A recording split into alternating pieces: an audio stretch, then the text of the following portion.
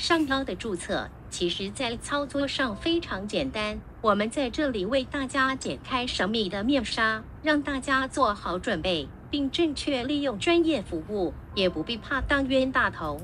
商标注册工作在决定公开前就要开始，而不是等到公开才来进行。原因在于，一旦决定商标并公开，却不先未注册。可能会有些好事之徒认为这个商标不错，会进行抢注。毕竟商标注册成本并不算高，抢注后他可以拿去用，也可以待价而沽。这种例子经常发生，我手边就经手好多件，想要之后取回要费好大功夫。单就金钱来说，就是注册费用的十倍以上起算，而且不一定能成功。而另外一个问题就是，一旦想好、设计好商标，就可能有资源投入。然而，这个商标创意有没有跟已经注册商标相同或近似，或其他注册障碍？如果没先进行检索分析，让真正熟悉的专家参与意见，根本不会知道。因此，商标的注册准备工作应该在公开前就要开始，不能等到公开后才来进行。在公开前就应该跟专家一起合作，共同参与意见。至于您需要准备什么资料或进行什么工作呢？会不会很麻烦呢？其实非常简单。首先，您可以先做想要的设计。您可以同时准备两个以上方案，以便当第一个选择遇有障碍时，还有备案可以选择。其次，您必须决定使用的范围。也就是商标申请的类别的决定，这和商业规划及经费二个因素有关。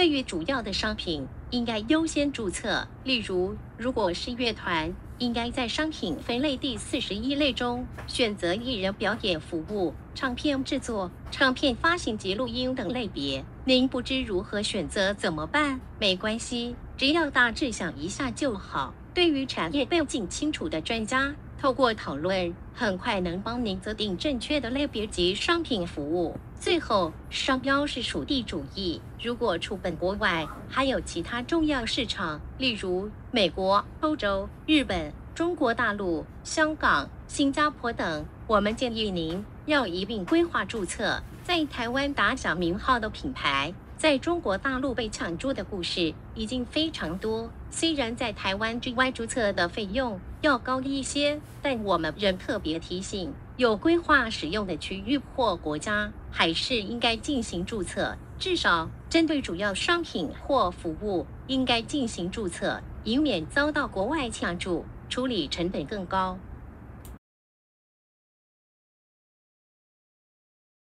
专家在这个阶段。可以针对您的商标设计方案进行简单检索。显然有注册障碍者，可以进一步讨论有没有办法克服，或者应该放弃。最常见的例子就是跟其他商标已有相同或近似情况。这不仅是商标注册障碍，甚至可能有遭他人主张商标权侵害的风险，一定要注意。至于申请类别，专家可以及时反馈您的希望，告知应该申请哪些类别。这个建议方案经常是一长串，但仍请您依据现实需要来做取舍决定，千万不必不好意思。而至于应不应该在海外同时注册，也可以跟专家讨论，这其实是专家的日常。专家的建议与您的需求讨论过程，必然涉及相关的投资，也就是费用。商标注册费用通常为两大部分，其一为官方之规费，其二为代理注册费用。有经验的商标代理人通常会提供很清楚的费用内容，帮助您决定及掌握投资规模。商标申请费用看似简单，但实际上，商标代理人对于业界背景是否知悉，您是否可以直接跟代理人磋商听取经验，还是必须透过业务代表等中间人？这在费用表上不当然能显示出来，通常只能靠口碑及打听，而这也是我们建议不要完全只重视费用比较的原因。